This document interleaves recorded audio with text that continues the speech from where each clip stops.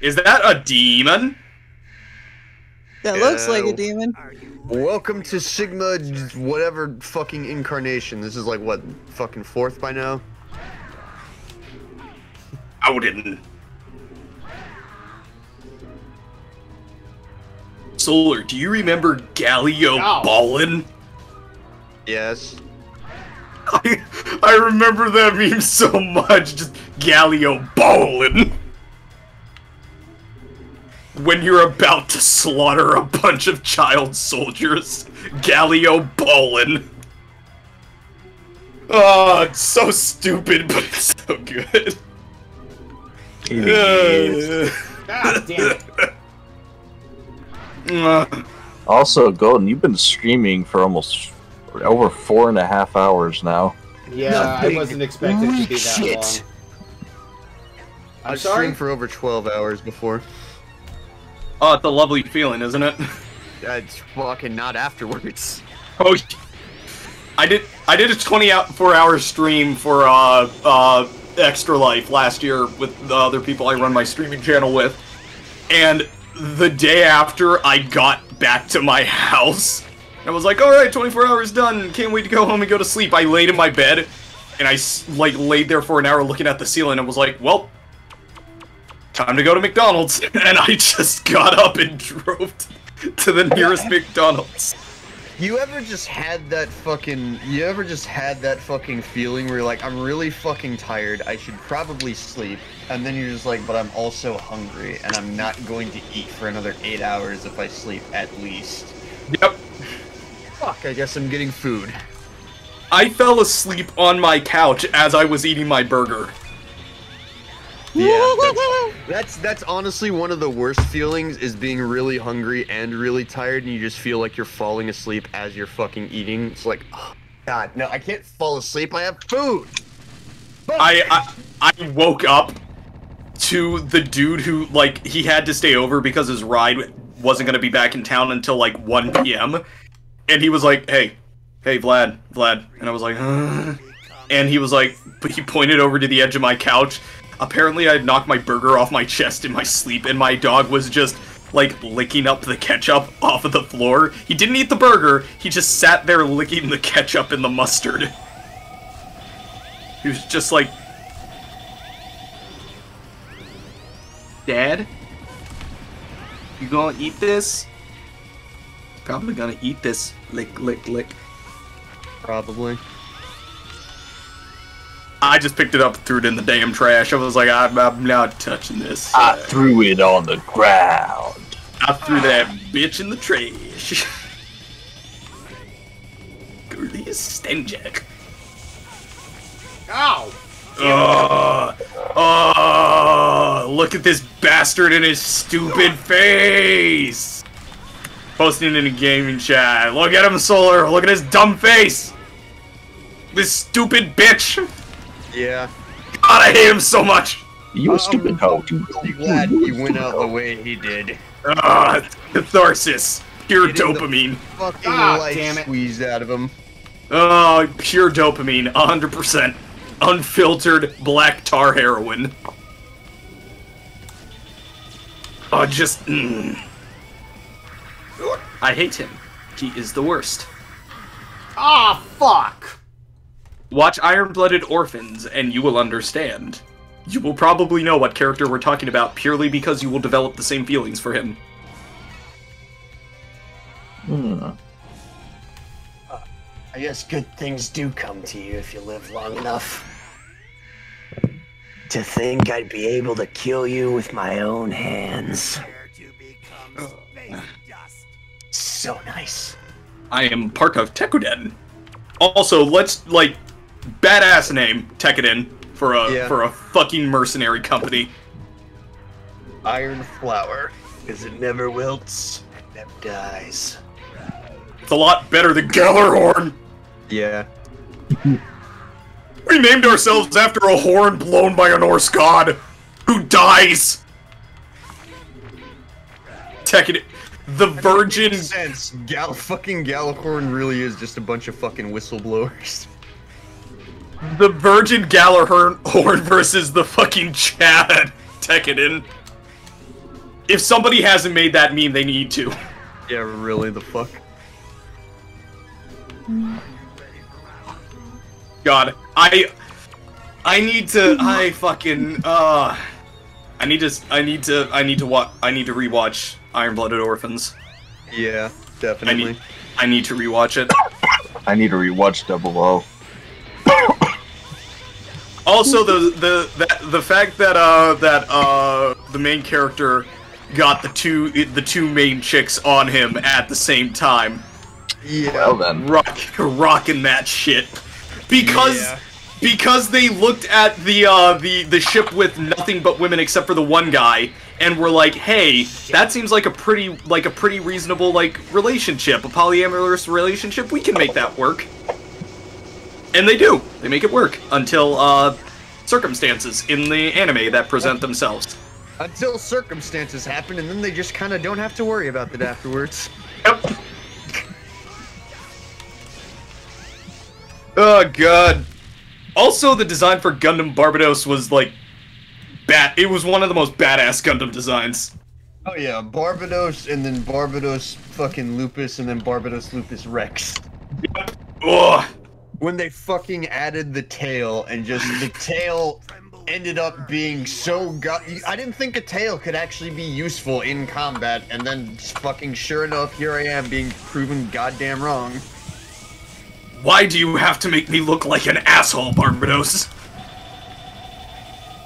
Barbatos then says, because it's my fucking job. Also, when he got that, like, aside from the mace, when he got when he got that sword, that was basically the Dragon Slayer Great Sword from Berserk. Just a solid slab of iron, And he fucking one-handed it too. Jesus Christ. just like guts. uh, rest in Yeah, I- peace. Uh, yeah. I, I fucking liked Rest in peace, how who? he was literally how Yeah. literally throughout most of that fight he was like, "Fuck, I need a better weapon for this," and then he gets the big fucking hunk of raw iron. He's like, "Yeah, this will do. This will The get done. The This'll author do of the job." the author of Berserk. Oh yeah, the author of Berserk, yeah. God damn, the the guy, he literally overworked himself to death. Yeah. This is like I, I've I- heard shit about how what it's like to be a manga artist, and just like, god damn, how many hours of sleep you get, and just like the the author of Naruto couldn't take his fucking honeymoon until 15 years after he was married. Jesus. It's like Yeah, no, it's rough because like, again, if you create this stuff, yeah, it's great if you get your big break. You have to still keep producing content for it. You got to think of this shit on the fucking weekly here. And if you don't already got that planned out, or even if you do, actually putting that into writing or into animation or into whatever type of media that you're trying to put it into, yeah, it's a lot harder than people give it credit for because you're like, okay, yeah, I have the outline here, I know where the story's gonna go, I know this, that, and the other. But then you start thinking about the specifics, and ordinarily you're like, okay, yeah, the specifics aren't that important to the main gist of the story, except for the fact that you're actually gonna have to include them so the people actually understand the main gist of the story. Yeah, the fact that like uh uh Kentaro was like for Berserk was designing his own like his own fantasy world with its own politics and kingdoms, its own intriguing and complex religious structure between a new religion and an old religion, various fantasy races and their relationships with the humans. Guts' whole deal, Casca's whole deal, the whole damn band of the Hawks whole deal.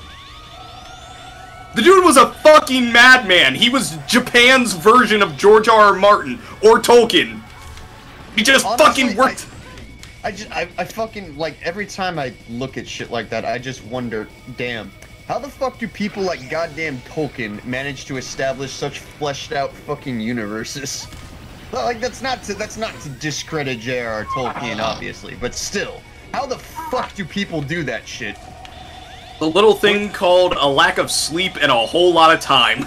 A whole lot lot of of imagination. cold sweat and sleepless nights. Oh, mood.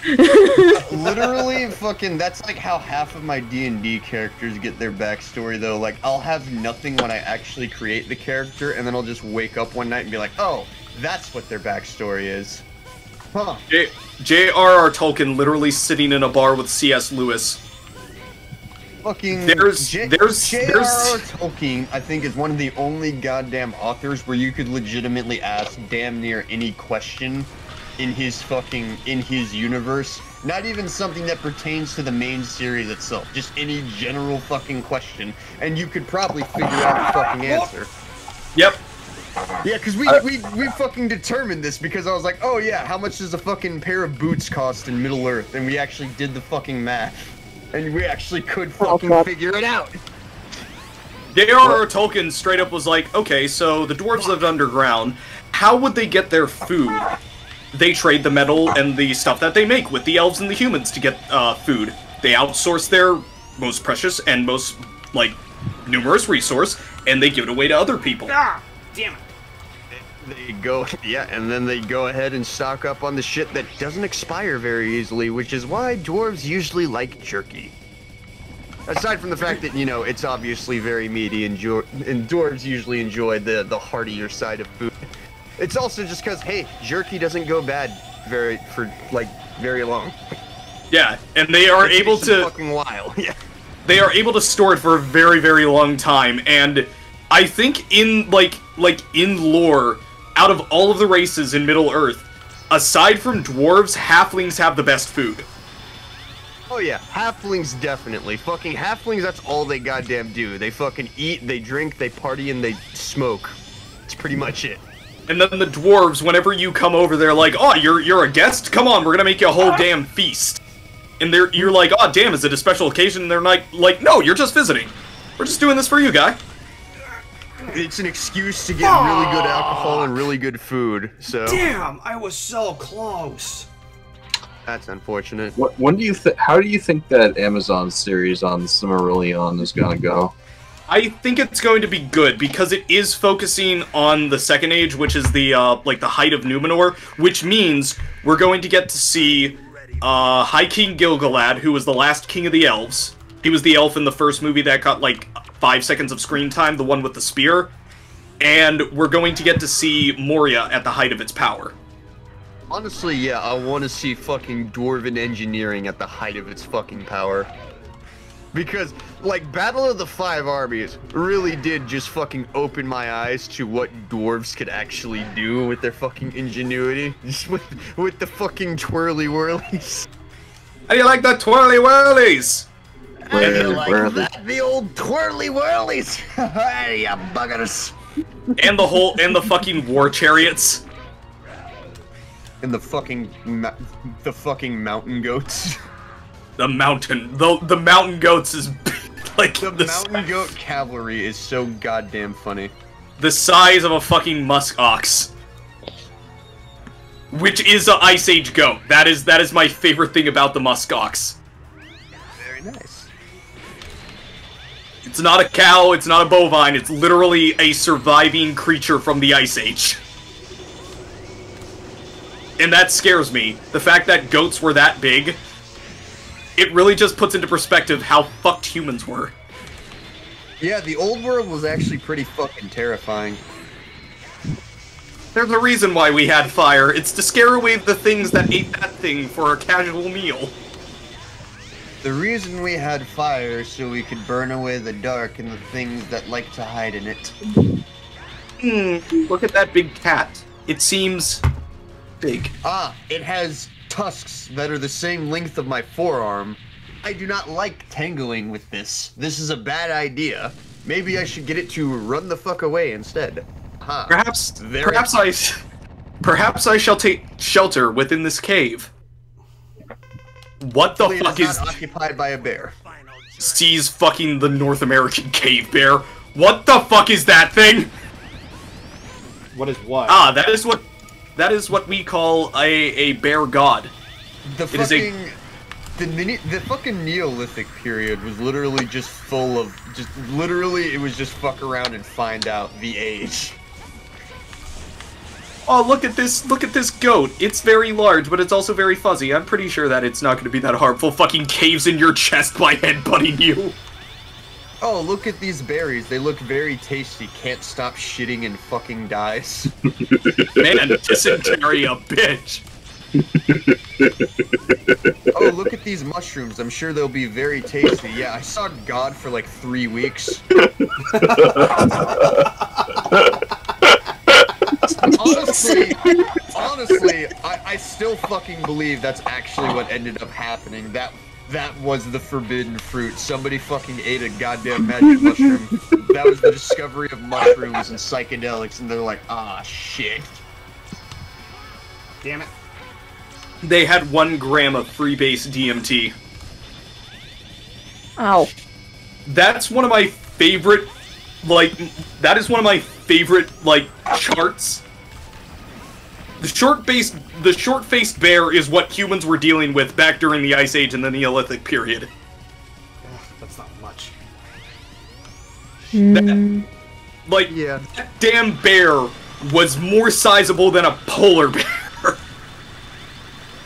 I would rather get into a fight with a damn pack of wolves than have to look that thing in the damn face. Like, no. No.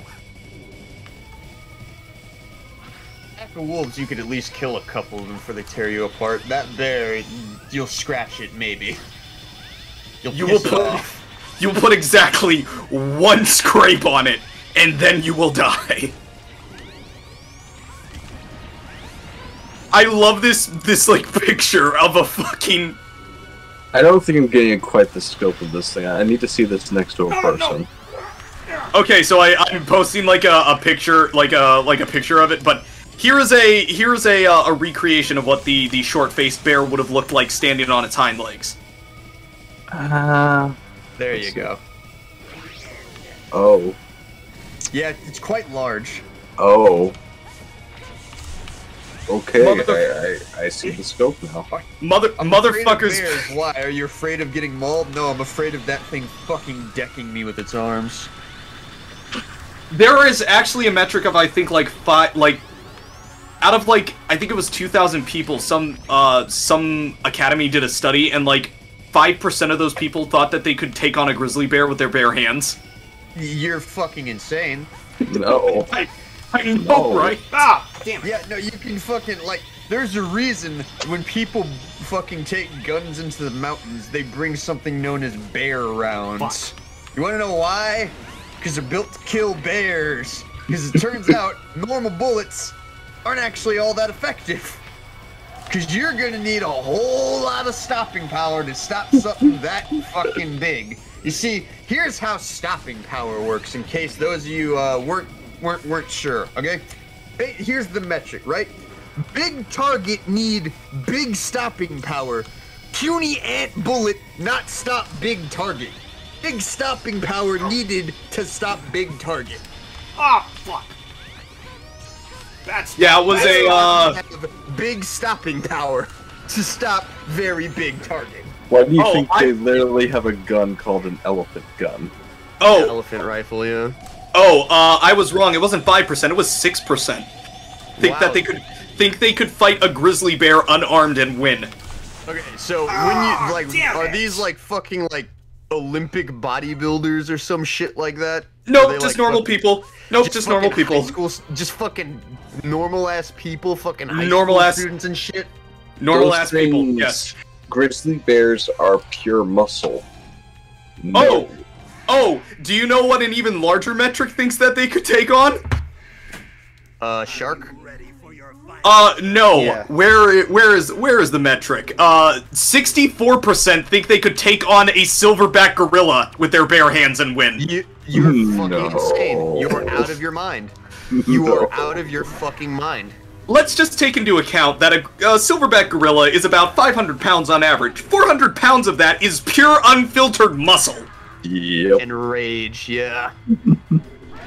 and they punch at average about.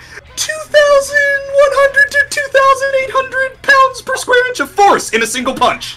Also, let's just take weight into account. They're like fucking what, like 800 pounds, some shit like that. Yep. Yeah, around that. around 800 pounds. So all it has to do is sit on you, and you're fucking done. Like It just- the other thing people don't fucking seem to consider. Oh, weight class, because as it turns out, weight is actually a very large factor in determining fights. Okay, so I looked it up, and the average uh, silverback gorilla weight is around 300 to 430 pounds. Okay, Yeah. So 400 pounds. That's still that's still a pretty hefty fucking amount, and he's still probably going to be able to pin you down pretty fucking easily.